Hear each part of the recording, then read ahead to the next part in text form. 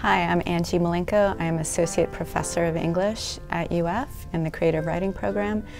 And I'm about to read a poem from my book, Distant Mandate uh, Poems.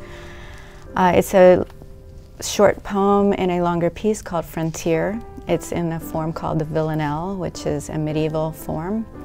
It is 19 lines and repeats uh, two lines every stanza, one, one line every other stanza. And it is a playful poem about frontiersmen between New Orleans and East Texas. And uh, I think it's mainly creative in its use of sounds, uh, its lightheartedness, its bounciness, uh, given the sort of grim surroundings. They sang Green, Green Grass of Home, sailing west from New Orleans. They sang Nimikitepa beneath mesquite, while digging graves in Matagorda.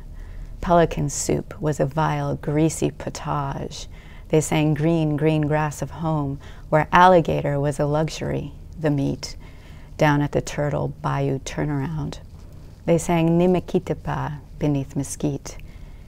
Near the old and lost river, they surmised Spanish moss strains coffee pretty good.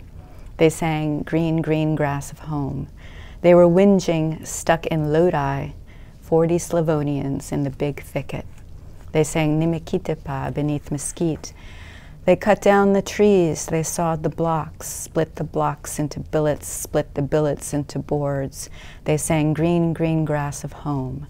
They sang Nimikitepa beneath mesquite.